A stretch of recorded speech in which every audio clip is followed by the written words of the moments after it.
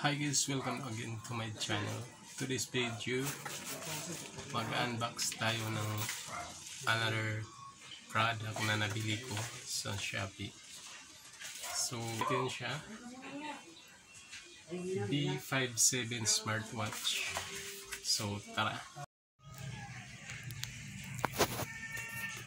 So, first thing to set up this is we need first to charge the watch so. Here.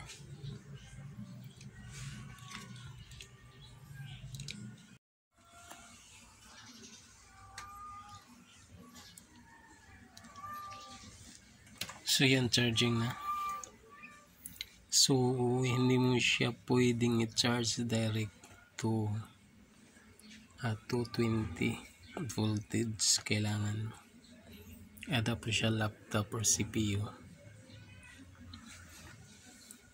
or power bank. Kasi masira siya. So yan.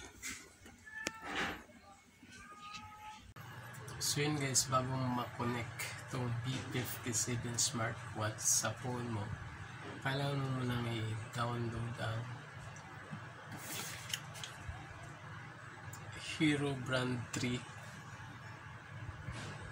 na apps Android phone mo. So, punta ka sa Play Store, download mo yung Hero Brand 3 at pagkatapos, i-pair mo siya sa watch nito. Doon makikita mo yung mga feature, halimbawa i-control mo yung feature niya anong gusto mong face dito ang lalabas dito sa watch mo halimbawa mukha mo gusto mong makita yung picture mo. So, kailangan mo siyang customize doon sa apps na yun.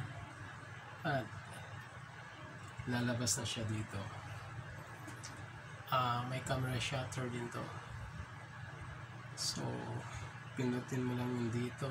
Pwede nang ka mag-shot na malayuan kasi dito na i-control then walking, running, swimming and etc so pwede mo siyang i-control through phone.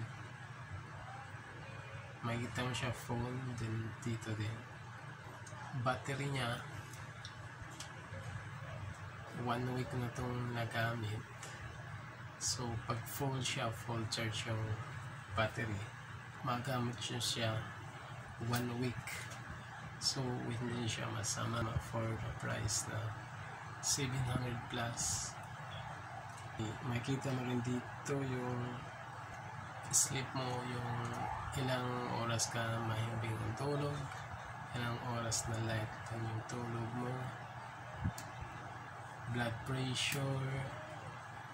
Pero yung blood pressure hindi ko recommended na gamitin mo siya kasi iba siya sa talagang aparato na kiniklip dito. Mas higher ang reading niya dito.